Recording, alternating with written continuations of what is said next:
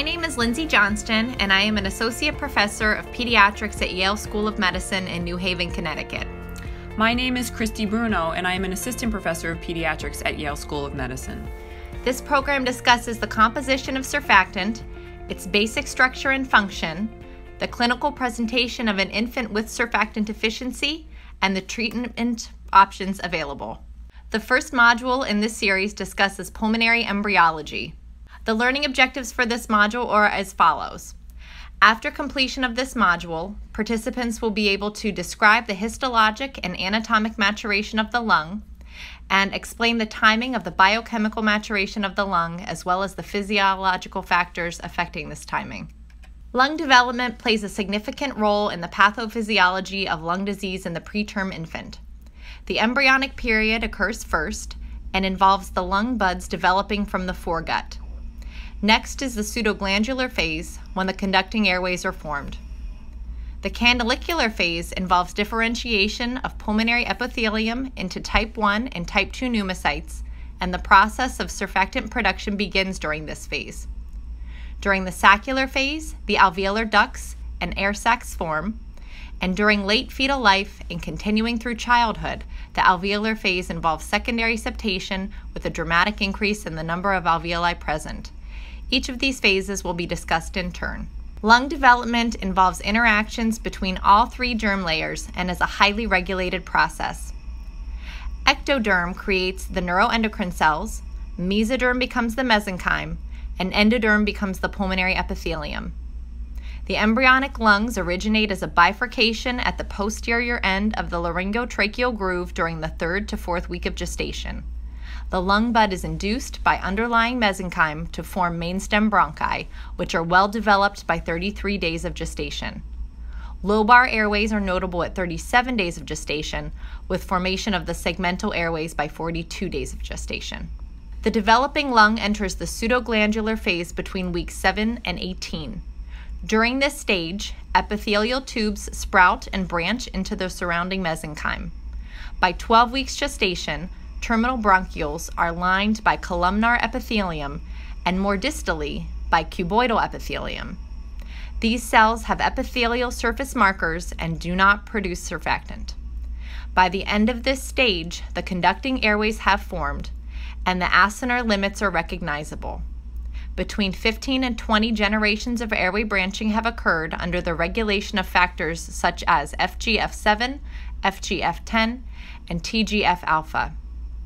This image shows the histologic hallmarks of the pseudoglandular phase, including multiple levels of airway branching. During the pseudoglandular phase, the entire air conducting bronchial tree is formed up to the level of the terminal bronchioles. During the canalicular stage, between gestational weeks 7 and 26, three major events take place. First, the lung tissue gains capability to exchange gas. This happens by widening of the peripheral respiratory bronchioles into acini. An acinus is a cluster of cells at the end of the respiratory bronchus that resembles a berry and is the precursor to saccules and alveoli. There is invasion of capillaries with apposition to the air sacs, and the air blood barrier thins, allowing gas exchange to occur more efficiently. Also, during the canalicular stage, differentiation of type 1 and type 2 pneumocytes from epithelial cells begins.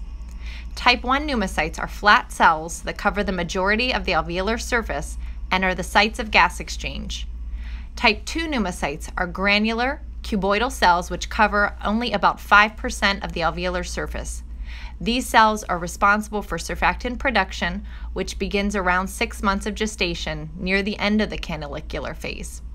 This will be discussed further in Module 2. Between the 26th and 28 weeks of gestation, lung morphogenesis enters its saccular period, during which the terminal airways continue to widen and form cylindrical structures known as saccules. Initially smooth, the internal surface of the saccules soon develops ridges or secondary crests, which originate as folds of the epithelium and peribronchial mesenchyme and contain a double capillary layer. The distance between the capillaries and the potential air spaces narrows further until eventually only a thin basal membrane separates them. Maturation and the production and function of surfactant also occurs during this phase. The images on this slide contrast the early saccular phase in panel A, which represents about 28 weeks gestation, with the later saccular phase in panel B, which represents 31 weeks of gestation. Please note the marked thinning of the basal membrane and increased number of secondary crests present in panel B when contrasted with panel A. Exactly when the saccular period ends and the alveolar period begins depends upon the definition of what constitutes an alveolus. In the human fetus, the saccular septation initiated with the appearance of the secondary crests continues at a rapid rate so that multifaceted structures analogous to the alveoli of the mature lung can be seen at 32 weeks of gestation. Alveolarization is activated or made operational by various factors including vitamin A, thyroxin, and physical stimuli including stretch from fetal lung fluid.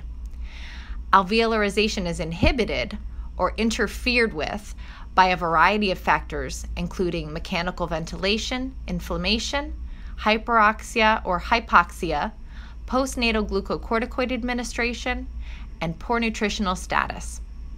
Vascular development parallels alveolar development. If alveolarization is disrupted, so too is the process of angiogenesis. Formation of alveoli before birth is not a requisite for survival. Even though airway branching is completed at term gestation, greater than 90% of alveoli are formed after birth. Recent evidence using high resolution synchrotron radiation X ray tomographic microscopy shows that new alveoli continue to be formed until adulthood. This slide summarizes the major features of each of the five phases of lung development. Please pause this recording to review the important stages of lung development. To recap the learning points of this module, during the embryonic phase, between 4 and 5 weeks of gestation, the lung buds develop from the foregut. During the pseudoglandular phase, between 5 and 17 weeks gestation, the conducting airways form. During the canalicular phase, between 16 and 25 weeks gestation, the pulmonary epithelium differentiates into type 1 and type 2 pneumocytes, and surfactant production begins. During the saccular phase, between 24 and 40 weeks gestation, the alveolar ducts and air sacs develop. Finally, during the alveolar stage, which begins late in fetal life and continues into childhood and beyond, there is secondary septation with a dramatic increase in the number of capillaries and alveoli. This concludes Module 1. Thank you for your attention. We would like to acknowledge the American Academy of Pediatrics, the Organization of Neonatology Training Program Directors, NeoReviews, and Abbott Nutrition for their support of this educational program. This concludes this module.